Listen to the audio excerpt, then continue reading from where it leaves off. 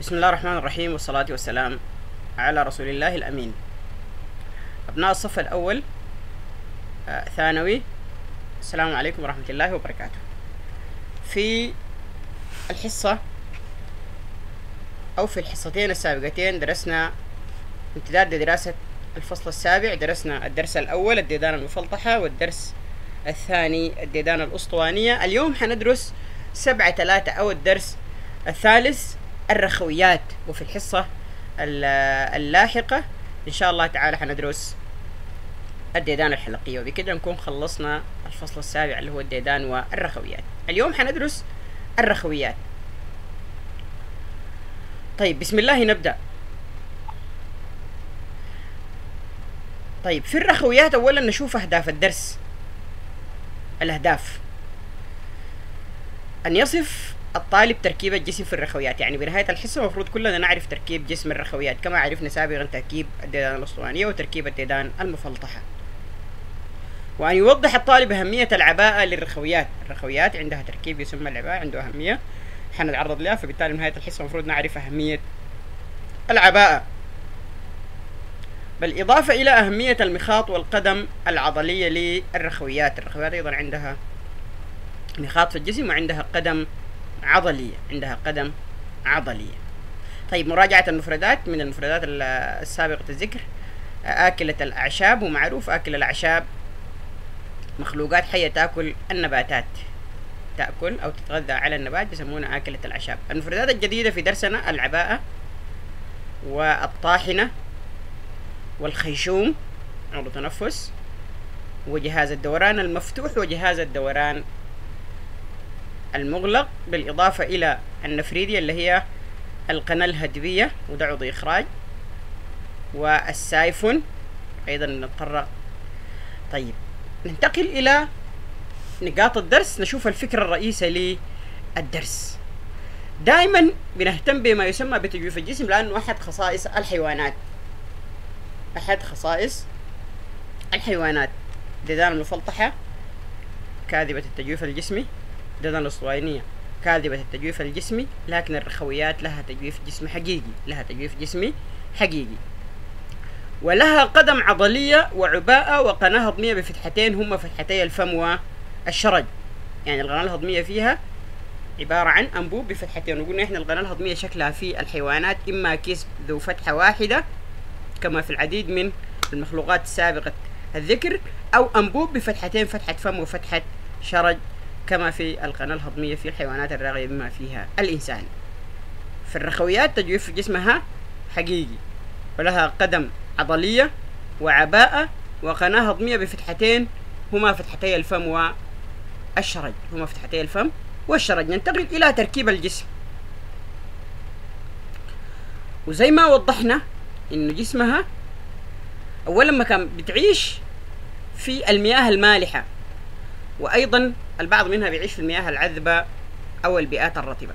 وهي مختلفة في أحجامها فمنها الصغير الحجم كالحلزون والبطيء الحركة بالإضافة إلى جسم آخر منها كبير الحجم وسريع الحركة كالحبار. لو الحبار يتحرك بقوة الدفع النفاث.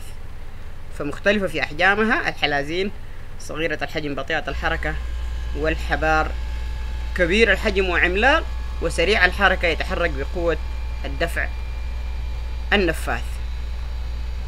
من أهم خصائص الرحويات إنها حقيقة التجويف الجسمي وتناظر جانبي تناظر جانبي.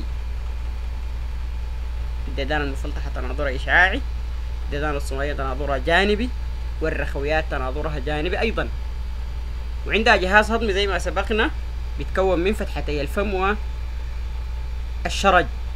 أيضا لها عباءة تحيط بأعضائها الداخلية. وال- والعباءة عبارة عن غشاء يفرز كربونات. الكالسيوم والتي تكون الصدفة عند بعض الرخويات. يعني بعض الرخويات فيها صدفة. والعباءة يعني من الاسم عباءة بتحيط بالأعضاء الداخلية.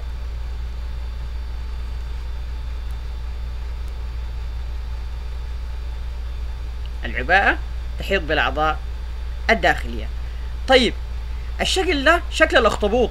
الشكل آه، سبعة 12 والاخطبوط عنده تجويف جسمي حقيقي. طيب ما هو الاختلاف الرئيس؟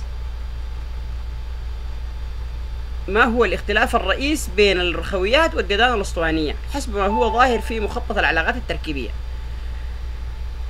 زي ما ذكرنا سابقا إنه الديدان الأسطوانية كاذبة التجويف الجسمي بينما الرخويات حقيقية التجويف الجسمي. حقيقية التجويف الجسمي. يبقى إجابة السؤال من الشكل السابق الرخويات حقيقية التجويف الجسمي والديدان الاسطوانية كاذبة التجويف الجسمي. كاذبة التجويف الجسمي. للعديد من الرخويات صدفة في داخل جسمها زي ما عرفنا العباءة هنعرف الصدفة يحوي قدم وأعضاء وعباءة الصدفة تحوي قدم عضلية تحوي أعضاء وبتحوي عباءة تحيط بهذه الأعضاء زي ما موضح في الحبار. والرسم الثاني اللي هو الحلزون. قارن بي لو عاوز أعقد مقارنة بين الحبار والحلزون أو الحلزون من خلال الرسم. من خلال الرسم الموضح. الحلزون زي ما ذكرنا سابقا جسمه مجهري صغير وبطيء الحركة أما الحبار العملاق قد يصل طوله إلى 21 متر وهو سريع. الحركة دي المقارنة بين الحبار والحلزون. طيب بعد تركيب الجسم اللي بيتكون من قدم عضلية وعباءة وصدفة وجهاز هضمي بفتحتين فم وشرج نتحول إلى التغذي والهضم. وللرخويات فم بداخله طاحنة. والطاحنة دي بتشبه اللسان وتضم صفوف من الأسنان. تضم صفوف من الأسنان. الرخويات بتتغذى على الأعشاب فهي تستخدم هذه الطاحنة لكشط الطحالب الموجودة في الصخور بوصف الطحالب واحدة من الأعشاب.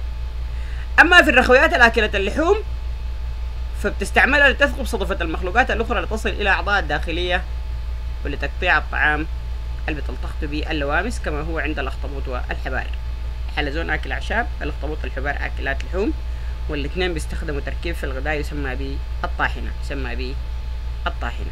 فتغذيتها إما أكلة أعشاب أو آكلة لحوم تستخدم الطاحنة في الأكلة الأعشاب.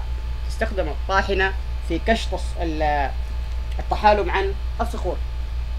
أما آكلة اللحوم بتستخدم الطاحنة ل تستخدم الطاحنة لتسقب صدفة المخلوقات الأخرى وتقطع لحمها وتحصل منها على المواد المغذية في حالة آكلة اللحوم.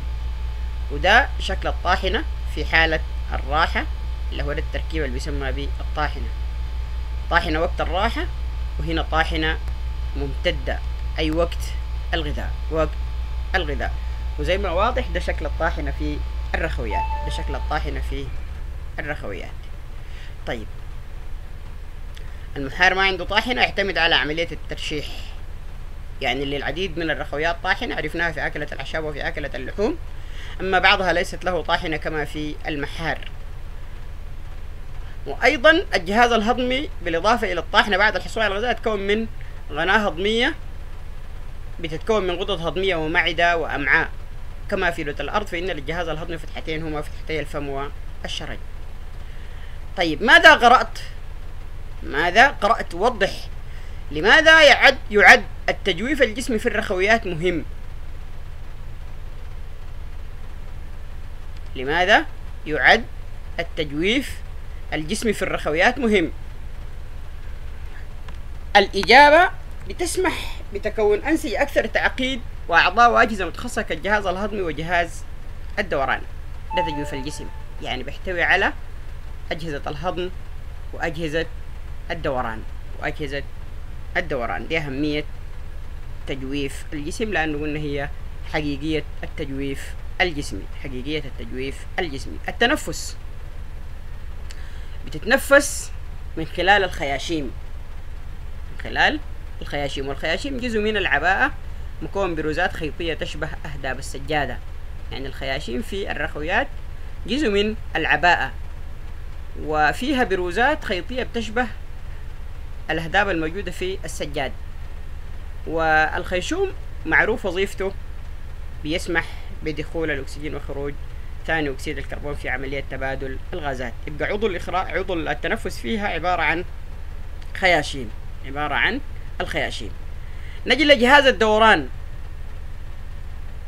فالرخويات لبعضها جهاز دوران مفتوح ولبعضها جهاز دوران مغلق. ومعروف جهاز الدوران وظيفته بينقل الدم الأكسجين إلى خلايا جسم الحيوان. فجهاز الدوران المفتوح بيضخ فيه الدم خارج الأوعية الدموية عشان كده سموه جهاز دوران مفتوح. عكس جهاز الدوران المغلق كما درسنا سابقا يسير الدم داخل الأوعية الدموية. داخل الأوعية الدموية ده الفرق ما بين جهاز دوران مفتوح وجهاز دوران مغلق. ومعروف جهاز الدوران أهميته بينقل القلب الأكسجين عبر الأوعية الدموية إلى خلايا الجسم عشان يحرر الطاقة الكامنة الموجودة في الغذاء الموجودة في الغذاء. فلبعضها جهاز دوران مفتوح ولبعضها جهاز دوران مغلق. الرخويات كالحبار لها جهاز دوران مغلق يضخ الدم داخل الأوعية الدموية داخل الأوعية الدموية. عرفنا الفرق ما بين جهاز الدوران المفتوح وجهاز الدوران المغلق. أما الإخراج بيتم بواسطة أعضاء تسمى النفيذية أو القناة الهدبية. أو القناة الهدبية. تقوم بتنقية الدم وطرح الفضلات عبر تجويف العباءة. وتعد النفريديا تركيب معقد في الرخويات للحفاظ على اتزان الداخل على رحم أفضل اللي هي بتخرج بت- بتخلص جسم ال- الرخويات من الماء الزائد والفضلات. فعضو الإخراج فيها عبارة عن نفريديا أو قناة هدبية.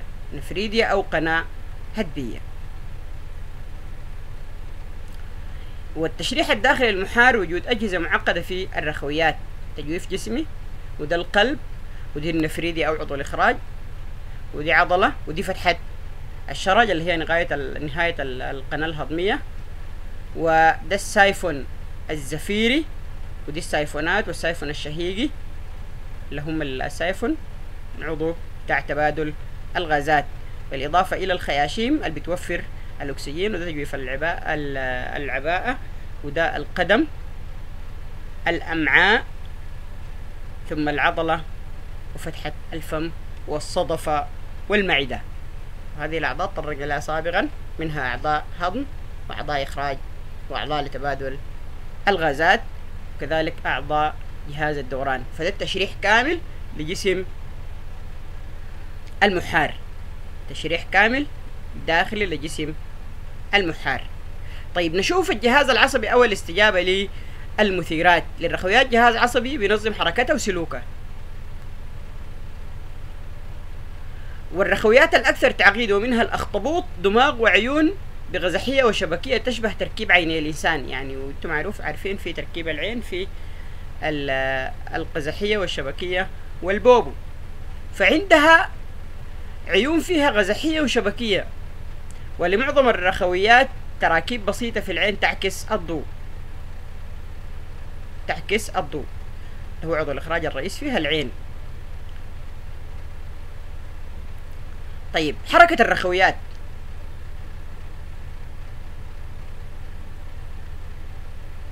تتحرك الرخويات بطرائق مختلفة وبتعتمد طريقة الحركة على حسب الشعبة أو الطائفة.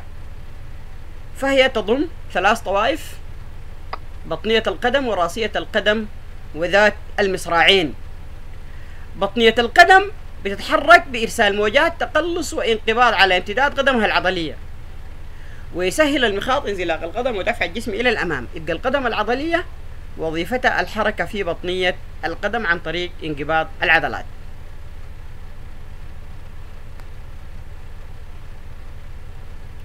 ومن أمثلة الرخويات بطنية القدم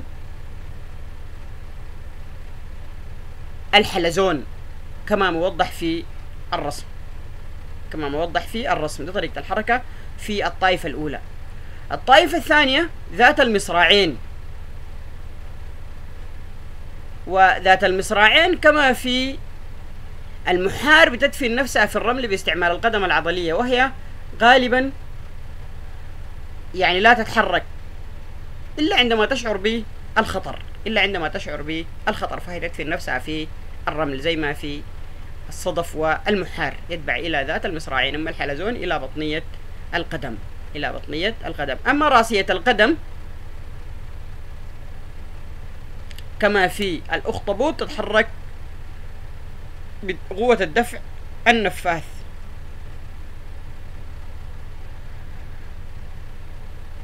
وبتتحرك لتحمي نفسها من الأعداء. تسحب الماء داخل أجسامها عبر الثقوب في جدار جسمها ثم تضخ الماء بعد ذلك من خلال السايفون لتبتعد عن الخطر الذي يهددها الذي يهددها فدي بتتحرك عن طريق السايفون. عن طريق السايفون هذا وصلى اللهم وسلم على سيدنا محمد وعلى آله وصحبه وسلم تسليما كثيرا.